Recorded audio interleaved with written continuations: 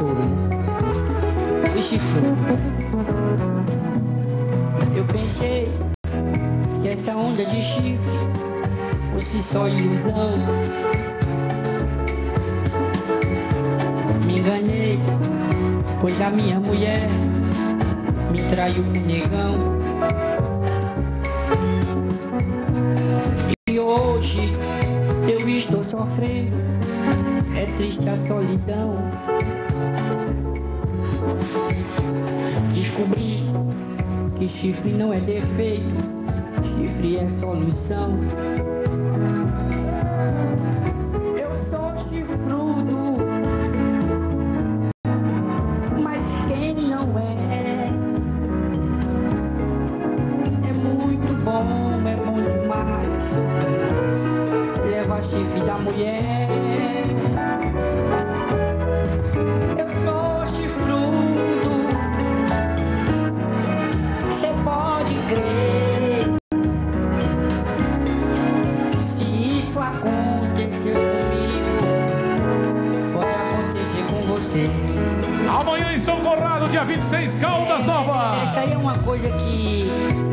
Pode fugir. É como o pai diz, o pai sempre tenta me consolar dizendo que chifre, isso é coisa que coloca na cabeça da gente.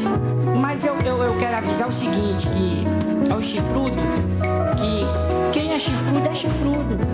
E pronto. O, o corno é. O corno é muito lindo você ser corno, assumir.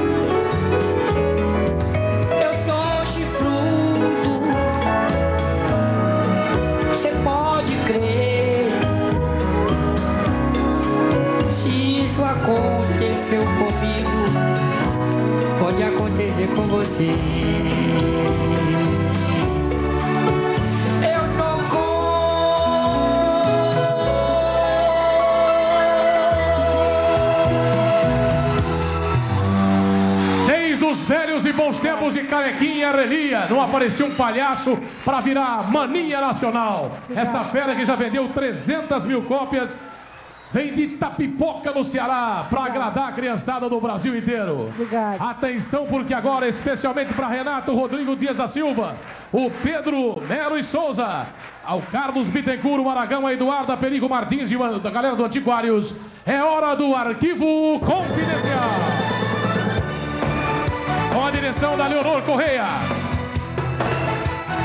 Nós trazemos hoje essa fera aqui, principalmente para não só prestar uma homenagem a ele, mas contar a história desse sucesso maluco em todo o Brasil.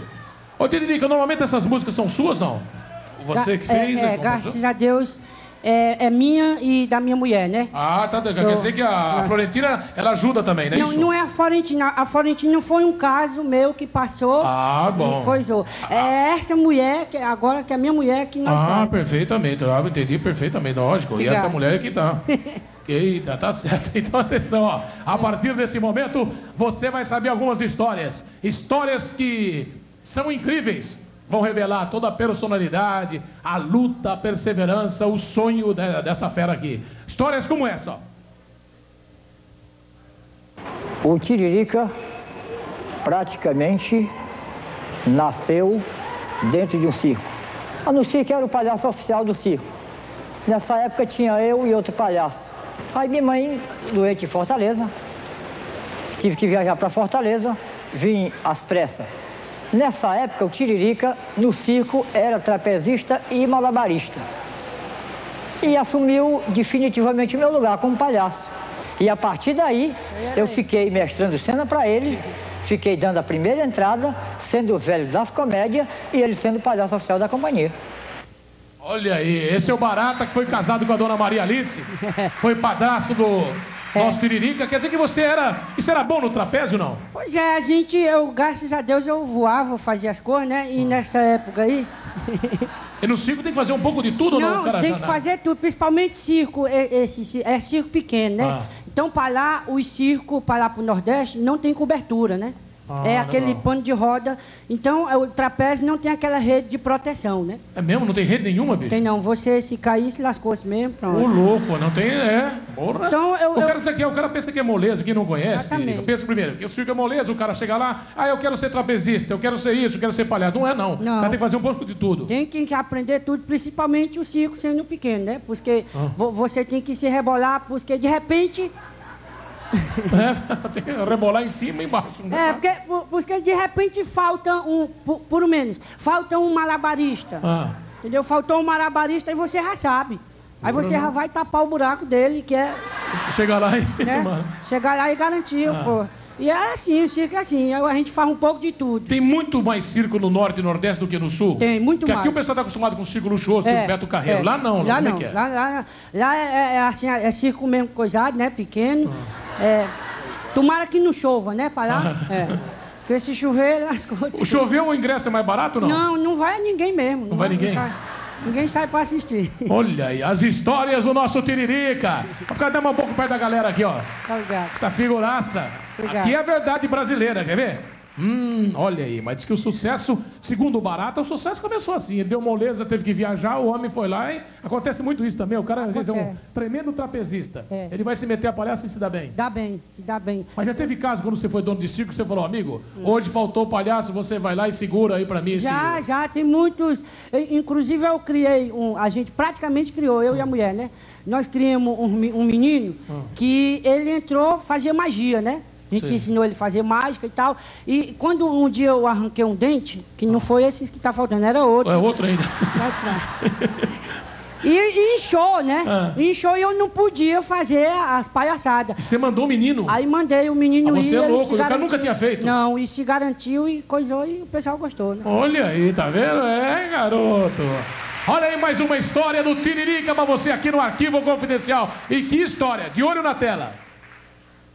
Há 15 anos atrás, o Tiririca trabalhou comigo. E foi o primeiro circo coberto que ele trabalhou. E era parecido com esse aqui, ó, com bicho preguiça. Só que ele não tinha nada de preguiça. Toda a vida ele foi um garoto esperto. O Tiririca nasceu para fazer sucesso. E o sucesso dele era natural. Era uma coisa impressionante. Quando terminou outro espetáculo aqui no bairro da Piedade, aqui em Fortaleza, ele foi para a barraca dele. Chegou lá, estava todo mundo que estava dentro do circo já estava na barraca dele. Então ele ficou apavorado. E correu, pediu, dona Juscelia, me, me socorre aqui, senão o povo vai me rasgar. Aí eu peguei ele, trouxe aqui pro ônibus, entrei com ele pro meu quarto, chegou lá, tive que esconder ele debaixo da cama. E foi aquele alvoroço aqui fora, todo mundo querendo ver ele. Eu tive que abrir a porta de emergência e botar ele para correr. Ele correu de rua fora, chegou duas horas da manhã aqui. No circo já não tinha mais ninguém. Aí foi, Foi a salvação dele. Isso aí foi realmente. É mesmo? Foi um negócio, isso é mesmo. Tá ligado? É porque, in- inclusive, eu, a gente, nós temos, de nós ser de família humilde, né, a minha família, eu, eu, eu faço muita amizade, né? A gente chega nos bairros, no, nos interior, para lá com o circo, eu faço amizade, eu jogo bola. Então, a gente eh, junta aquela Você tem pilha de rapaziada. ponta esquerda, de ponta direita, de meio. Como é que você você joga do quê? Eu jogo de meia direita. Meia direita, é avançada. Tipo E- Bebeto assim, não? É, é? Não, eu sou mais lento. Você tem pinta, você tem pinta de quem joga, joga bem mesmo. Tem não, é minha mesmo. mesmo? Eu- e aí a gente faz amizade e, Ah. e as pessoas gostam, né?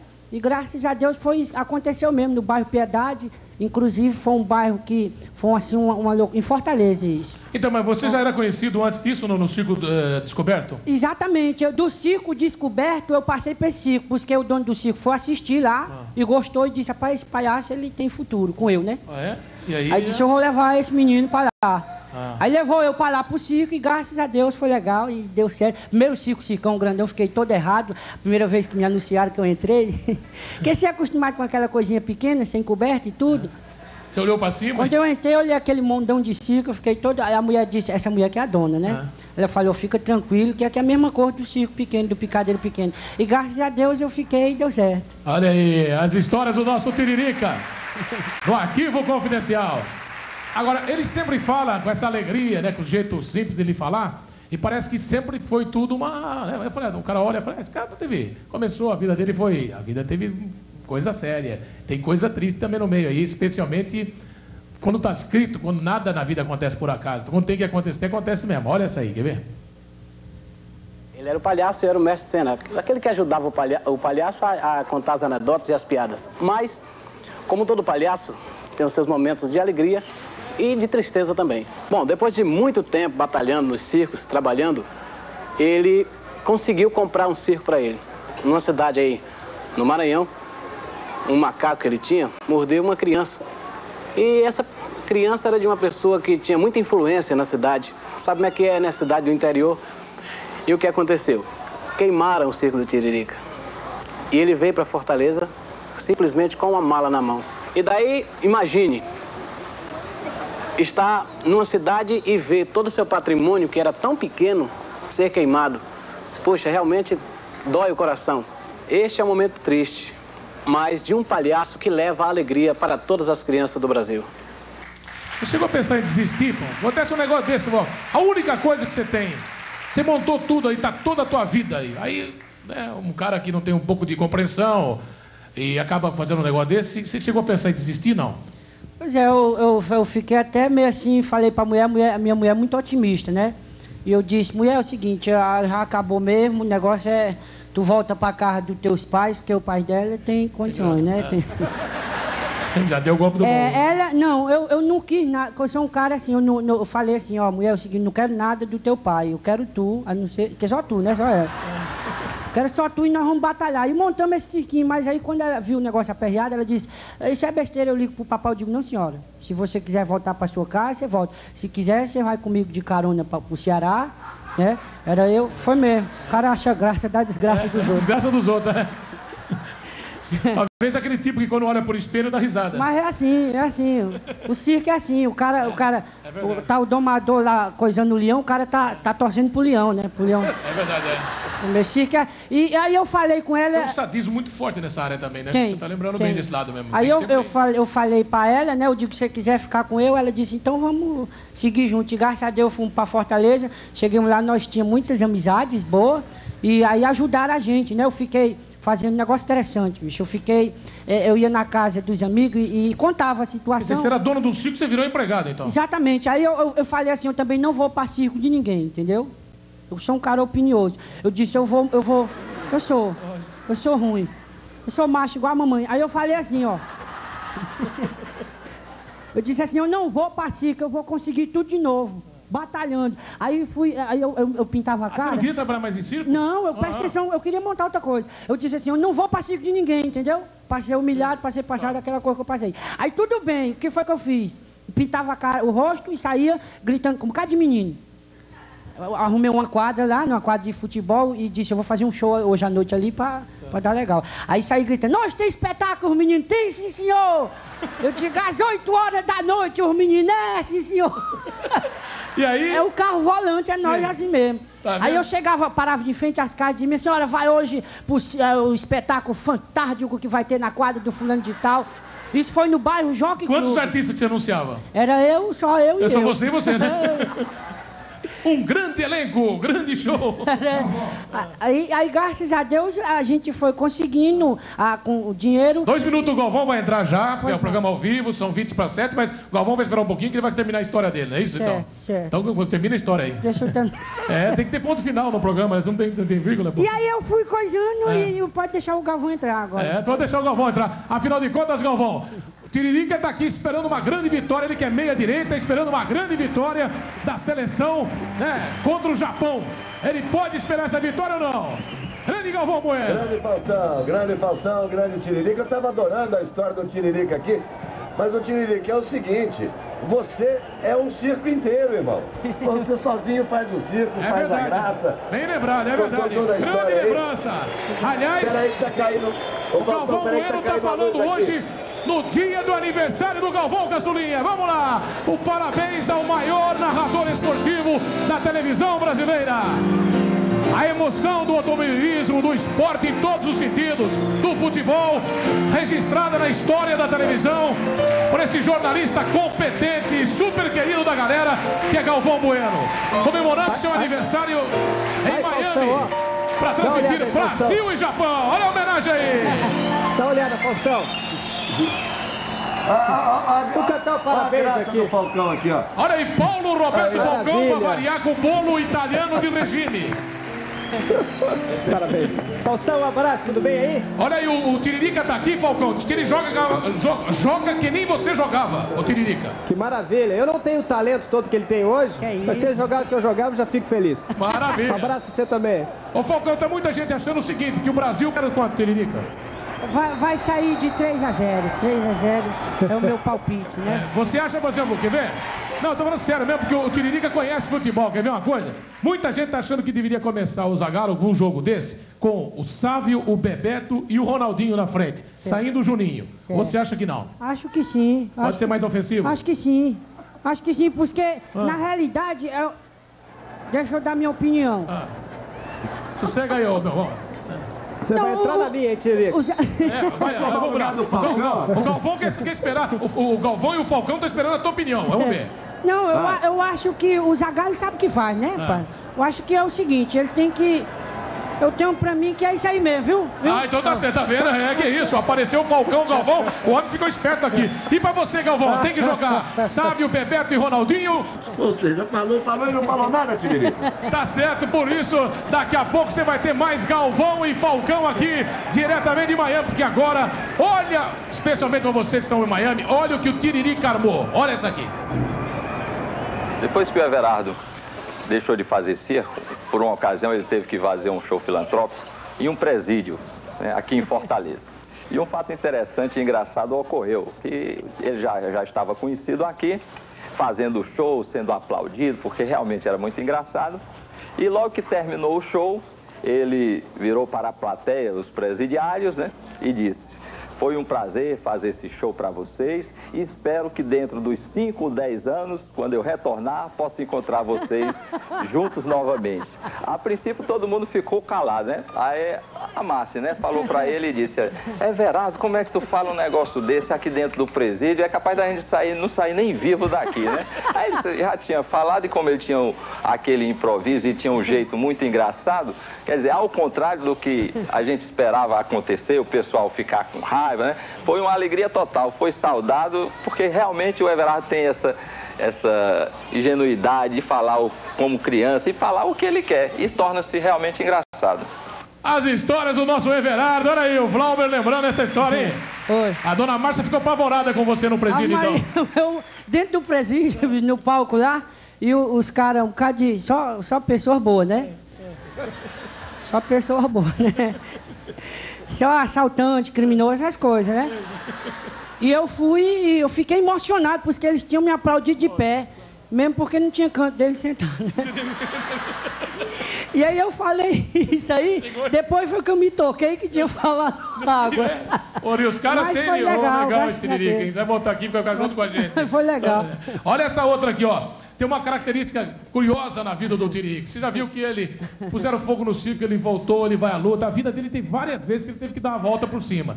Agora, a característica gozada nessa próxima história aí, mostrar uma, uma característica muito própria dele, que, é, que tem a ver com o que ele falou, que você vê como é verdade aqui, a gente mostra a verdade. Que ele falou que faz amizade com facilidade. Olha o que ele acabou armando. O Ceará é um verdadeiro celeiro de humoristas. Dentre os que se apresentaram aqui na minha casa, tem o Falcão, o Tom e agora o Tiririca.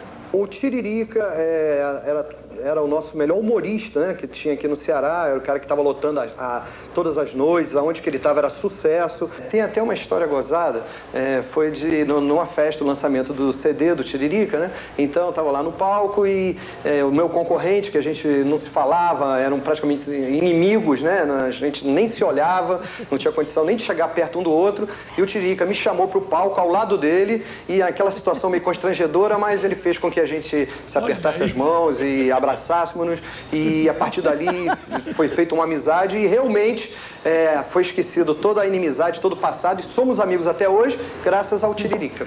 Olha aí, com a prova do crime, você viu? É. O vídeo mostrando que ele, os dois concorrentes viraram amigos. Pois é, porque lá, eu, eu- lá é o seguinte, lá eu posso dizer o nome das, das coisas lá ou não? Pode falar, olha. Lá, lá é Disque Pizza e Shopping Pizza. Então Ah. elas duas brigam Ah. esse negócio de pizza. Sim. Então, é, é, nesse dia estavam os dois assistindo, eu chamei os dois. E acabou em pizza. E graças a Deus terminou em pizza. Olha, maravilha. Esse é o Tiririca. Você já teve briga mesmo com alguém, não? Já. Já, porque na realidade a É gente. difícil brigar com você, né? Não, mas é porque ah, também a gente não é de, de ferro, né? Aconteceu uma coisa seguinte, ó, eu, a gente que eu faço, na realidade, o que eu gosto e o que eu sei fazer. Eu só sei fazer isso também, né? Então, o que foi que aconteceu no palco de- da, da casa desse cidadão aí, da- do, do Califa, foi no- na, na Disque Pizza, eu estava fazendo show, tinha pra- foi logo no começo, tinha praticamente na faixa, assim, mais ou menos, umas, assim, na, na- faixa da- das pessoas que faixa tinha, mesmo, é. umas 15 pessoas só Perfeitamente. assistindo o show. Então tinha um babaca que sempre, Sempre tem, um, tem, sempre é tem um babaca para atrapalhar. E eu, eu, eu falava as coisas, ele dizia, vixe, de novo, isso aí de novo. E eu contando as piadas e o cara, de novo. Sempre tem, é verdade. Aí chegou uma hora que eu não aguentei, né? Eu fui e fa- falei já, por, por sério, passei já para ignorância, eu disse, "Ah, meu amigo, não leva mal não, mas os outros têm que assistir, bicho. Tu tá, não sabe beber, né? Já tava cheio do É. Tá corpo. cheio de cana? Não sabe beber, tu tá atrapalhando a família que quer assistir aí. É. Tinha, tinha na faixa de, um- de um- uma família só assistindo. Eu Digo, tu já quer avacalhar, deixa eu, deixa eu ganhar meu pão, né? Eu fui, eu fui logo objetivo para ele. Eu disse, rapaz, deixa eu ganhar meu pão. Pô, Não, não faz essas coisas, não. E o cara chegou. Aí ele deu, deu uma pausa e tal, o rapaz, o rapaz, o gerente foi lá e disse, rapaz, deixa o rapaz e tal. Aí tudo bem, aí deixou eu contar mais umas piadas. Na outra piada, ele, ele- aí, quando eu comecei a cantar a outra piada, aí ele de novo, ó, de novo, Bebum é dose, hein, meu? Bebum, porra. É, é. O cara é chato e bebum. o cara de novo. Aí, Aí eu já passei para. Eu digo, é, já que ele tá pedindo de novo, eu vou. Que ele tá dizendo de novo, eu contei a mesma piada de novo. virou Florentina. Você Cara, mandou em cima dele. Eita, Tiririca. Olha aí. Aí é o seguinte, com esse sucesso todo, o Tiririca faz show no Brasil inteiro e tem muita gente sentindo saudade dele. Sabe aonde? Olha lá. Quando o Tiririca saiu do circo, ele começou a fazer show, barraca de praia. Ele chegou lá no camarim, Wanda, eu queria te pedir uma coisa. Não sei se vai estar no teu alcance, mas se você pudesse me ajudar, eu ficaria muito feliz. Diz, Tiririca, o que é? Eu queria fazer um CD. E eu não tenho dinheiro para isso. Eu queria que vocês me ajudassem.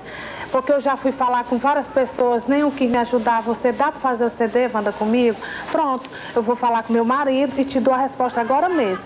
Cheguei falei com ele, ele disse, pronto, falei com o Dedé, ele disse, vamos enfrentar. Ele merece, tem muito futuro, vamos fazer o CD dele. Quatro meses depois que a gente fez o lançamento do CD dele aqui, uma gravadora ligou e convidou para ele ir fazer o CD.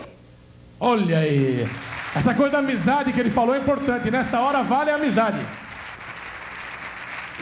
Isso aí realmente é uma coisa sincera, é um negócio, porque eu sou, eu sou como eu já eu falei, e as pessoas que me conhecem, as que não me conhecem vão reconhecer agora, eu sou de pessoas humildes, mas humilde mesmo. Sabe? Eu, eu, não- Tem o né? falso humilde também. Não, não, não é aquele, eu sou aquele, aquele é, é humilde mesmo. A mamãe ainda mora no terreno invadido, isso não é mentira. Mora, Quer ver uma coisa? Olha aqui, ó, os irmãos. Mamãe Aqui. mora. Olha os irmãos dele. A verdade aqui. Tiririca é o mais velho da família e nós estamos em cinco irmãos. Somos um grupo de cinco irmãos, mas ele sempre foi o mais brincalhão, o mais travessuro da família. Ele é uma pessoa maravilhosa, sempre gostou de ajudar a gente, mesmo quando não tinha. Ele sempre fez de tudo, mesmo que tivesse que vender alguma coisa, mas estava sempre ajudando a gente. E eu desejo para ele muita saúde, muita felicidade, que Jesus proteja ele e a nós todos.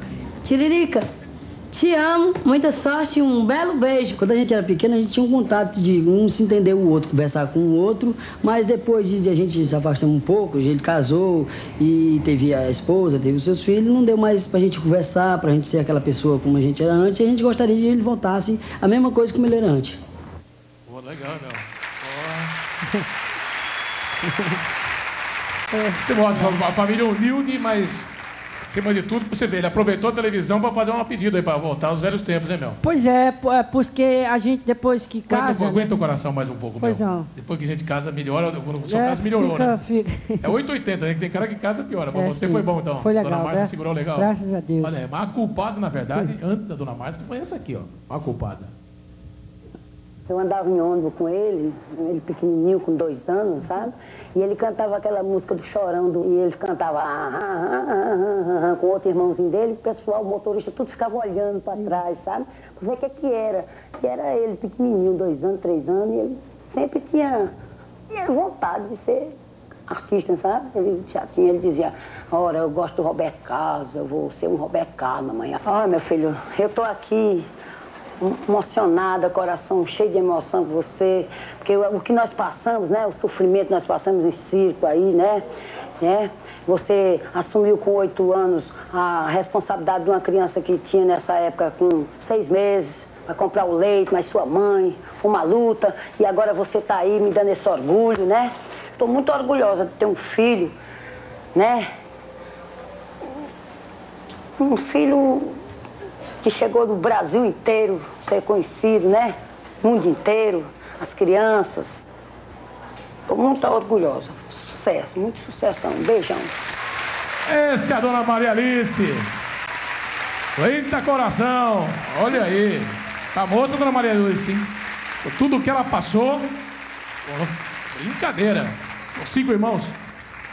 Cinco irmãos. A, a, a, a mamãe, ela sempre nas minhas piadas eu sempre coloco ela no meio, porque a mamãe é o seguinte, ela ela é essa, essa mulher de essa, essa nordestina de força, sabe? Ela eh, não tem tempo ruim para ela não, entendeu? Ela ela ela eh, até a- a- a- no- antes da gente fazer esse sucesso aí, a mamãe eh, fa- fazia troca, essas coisas, nu- nu- numa feira que tem lá no Ceará, em Fortaleza, que é a feira de troca, né? Isso. Feira de troca-troca. Ela, ela levava roupa e trocava por, por, por comida, por coisas assim. a maior dificuldade que foi, É. sempre sobreviveu todo mundo com dignidade, né? Foi sim, sempre sim, sempre Maravilha. assim.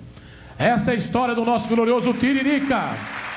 Mostrando que o que ele está falando está correspondendo com a realidade. É que ele falou mesmo, não é aquela- aquela média não de falar. Ele é família mil e você mostrou mesmo aí, ó. E não tem vergonha, pelo contrário, tem orgulho, né? Atenção, agora tem. Olha essa história aqui, ó. Hum, olha mais uma. Solta aí. Olha essa fera. Há três meses atrás, o Tiririca saiu do Nordeste e veio para o eixo Rio-São Paulo. De que forma? Eu ouvi uma música chamada Florentina, eh, achei que ela iria ser um grande sucesso e, na mesma hora, eh, coloquei um funcionário meu para ir atrás do Tiririca em Campina Grande. E dei a seguinte missão para ele. Tu vá e volte com ele de qualquer jeito para cá, custe o que custar, fique o tempo que ficar. Eh, e assim foi. Num domingo à noite, o Tiririca chegou em São Paulo eh, e ali mesmo, rapidamente, a gente começou a trabalhar. Assinamos um contrato e a partir dali eh, foi uma carreira absolutamente meteórica como eu nunca vi na minha vida.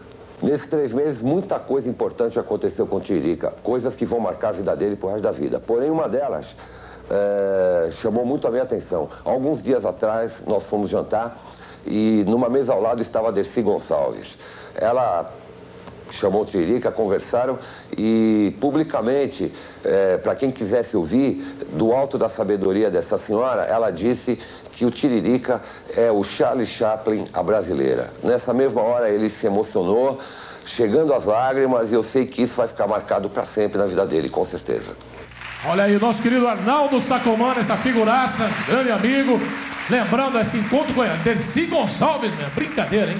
Foi, foi, foi em São Paulo, né? A gente tava no, no, no restaurante, ela chegou e surgiu um boato que o Tiririca tava ali, a Desci, eu, eu tava doido para ir para lá, porque eu, eu gosto dela, que ela é, é autêntica, Claro. né? Ela é o que é, né? Então a gente, eu, eu, eu doido para ir para lá e ela mandou me chamar. Eu digo, puxa vida, que legal. Aí já tava pegando a carona e fui lá e ela disse, olha, que do jeito que ela fala, né? Que eu não sei imitar. Que negócio é esse de, de negócio de Florentina, que coisa maravilhosa e tal. E, e, sabe, me deu sua força e disse, eu gostaria de mandar um beijo para ela. Que a partir daí do, de, que ela falou esse negócio aí, eu digo, pô, tô consagrado, entendeu? É verdade. A homenagem a Dercy Gonçalves, 89 anos, uma das maiores personalidades da história da televisão. reconhecendo aí o talento do Tiririca, o glorioso Francisco Everardo. Olha aí. Atenção, porque depois dos reclames do Plim Plim, você vai saber quem é fã do Tiririca. Um dos maiores humoristas do Brasil. Logo depois dos reclames do Plim Plim. Quem curte o trabalho dessa fera? Eu tive a curiosidade de viajar para Fortaleza e ir ao show do Tiririca, né? Aconteceu uma coisa interessante que eu tinha avisado ao meu irmão que o Tiririca iria ao show meu no centro de convenções. E lá ele foi barrado. Em seguida tinha um show dele para me assistir. E quando eu cheguei no show dele, ele me viu assim na plateia de cara, olhou para mim e disse, covarde. Não deixou eu entrar no show, covarde. A minha mãe. E você, parece que num grito de liberdade, conseguiu lavar a alma do povo circense, vindo para as televisões, vindo para o palco.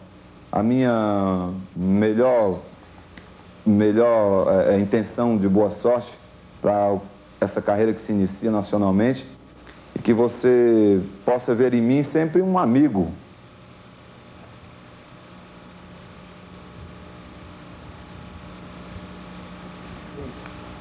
A emoção do Tom Cavalcante, que ele sabe da história do Tiririca e da emoção de sentir das origens do circo para o mundo da televisão, nosso Tiririca. Agora, na verdade, homenagem merece quem vem agora. Especialmente porque, pelo que ele contou aqui, sempre essa pessoa esteve do lado dele. Olha aí. Tiririca eu não sei falar, você sabe, né? Então eu quero te dizer que eu mais do que ninguém estou muito feliz, porque eu sei o tanto que nós dois sofremos juntos e que era o seu sonho fazer sucesso no Ceará. E você chegou no Brasil porque você merece. Porque você é um amor de pessoa, você é humilde e você é o pai dos meus filhos. E se Deus quiser, esse filho que eu estou esperando, mais um seu, danadinho, é, vamos completar uma família bem feliz. Eu te amo. Valeu, pai. Mais um irmãozinho, um beijo. Berardo, olha como seu filho já sabe a coreografia. Florentina, Florentina, Florentina de Jesus. Não sei se tu me amas, pra que tu me seduz. Essa é a famosa parte da vida do Tiririca, o trio importante na vida do trio. Terceirinho vem aí. Pois é. A, a Márcia, a Rogéria Márcia é uma, uma esposa otimista, né? Ela sempre falou porque o, o, meu objetivo, como ela falou, é fazer sucesso no Ceará. Porque eu, eu me orgulho em, em, ser cearense, em ser nordestino. Eu tenho esse orgulho. E eu gostaria de fazer sucesso no Ceará. E ela disse, a gente procurou as rádios lá, várias rádios para tocar música, chegamos a pagar e teve uma, duas rádios lá e não tocaram a nossa música. É, uhum. Nós tivemos que fazer sucesso na Bahia e em Pernambuco para depois fazer no Ceará. Quer dizer, foi um negócio assim maluco. Mas aí fizemos sucesso no Ceará e do Ceará, graças a Deus, para o Brasil, graças a Deus. E agora o Brasil inteiro representado por esse auditório, de pé aplaudindo. A força, a perseverança, o sonho que ele realizou. Tiririca! Obrigado. Grande sucesso em todo o país no Arquivo Confidencial. Essa música eu tava cantando ali na cidade grande, o soldado gostou tanto que levou pra cantar na cadeia. Florentino, o nome dela. Grande figura.